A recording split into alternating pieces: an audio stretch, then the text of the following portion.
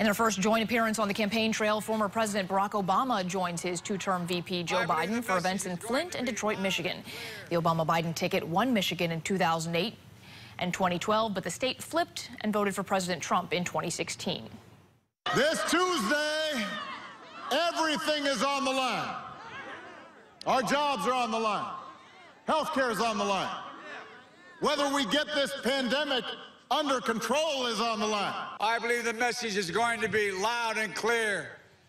It's time for Donald Trump to pack his bags and go home.